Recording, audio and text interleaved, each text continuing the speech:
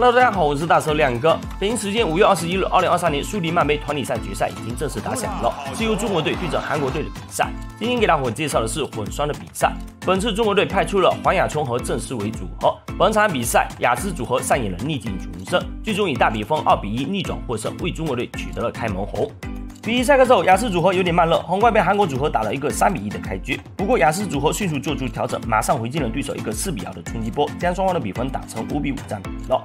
接下来双方开启了拉锯战，双方一直僵持到了十七比十七。不过韩国组合开始发力，以一个三比一的小高潮带走了首局。雅思组合以十八比二十一先输一局，比赛进入第二局的较量。结果一上来，韩国组合爆发了，韩国组合似乎找到了雅思组合的破绽，打出了连续猛攻。韩国组合开局就打了雅思组合一个九比三的开局，落后六分，这也让。雅思组合陷入非常被动的局面，因为已经输掉一局了，第二局还落后六分。接下来雅思组合开启了疯狂追分模式，从七比十一到十一比十一，雅思组合打了对手一个四比零的冲击波，将双方的比分扳平了。当雅思组合以十五比十六暂时落后的时候，只见在双方对拼过程中，郑思维打出了一记神仙球扳平比分，这一球直接将韩国选手打倒在地。不过韩国组合再次发力，以一个三比零的小高潮，将双方的比分打成十九比十六。不过雅思组合马上回敬了对手一个三比零的冲击波，再次扳平比分。当双方以二十比二十战平的时候，这个时候也把镜头切给了在场边的林丹。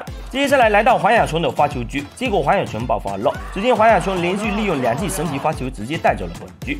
这两球也让韩国选手有点琢磨不透。雅思组合以二十二比二十扳回一城，比赛进入决胜局的较量。结果雅思组合彻底放开了。当双方战成三比零的时候，只见郑思维的暴力扣球让对手跪在地上怀疑人生了。雅思组合很快打了对手一个五。比零的开局。当双方战成八比三的时候，只见黄雅琼再次发出了神级发球，帮助球队继续扩大领先优势。雅思组合以十一比三进入决胜局的基础间歇。休息回来，虽然韩国组合也非常顽强，但是在面对已经进入佳境的雅思组合来说，已经有点无懈可击了。雅思组合以二十一比八带走了比赛，最终雅思组合以大比分二比一逆转获胜，这也为中国队取得了开门红。由于上演了大逆转，这也让场边的林丹都笑了。或许在面对窘境时，有很多人会选择放弃或者逃避，但是那些选择坚持并战胜困难的人，才是真正的英雄。好了，本期视频就到这，看一下体育赛事，有我大嫂的相伴，我们下期再会。